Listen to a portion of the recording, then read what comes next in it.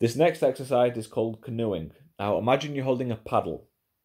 With your left hand a few inches above your right, hold your arms out straight in front of your left shoulder and then bring them down towards your right hip like you're paddling. Bring it back up to the starting position in front, switch the dominant hand and bring it down to the left hip, like so.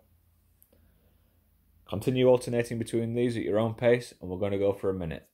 The faster you go, the more cardio you get out of it, the slower you go, the more control you get over it. Remember to tighten your shoulders at the back and bring them back like Jeanette's doing.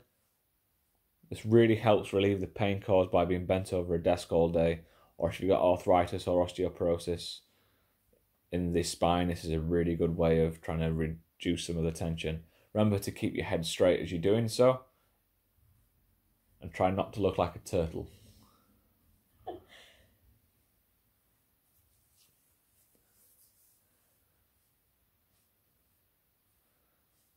If you want a bit more out of it, start bringing more of a twist into it when you're doing it. And 15 seconds left. Remember to keep that technique under control.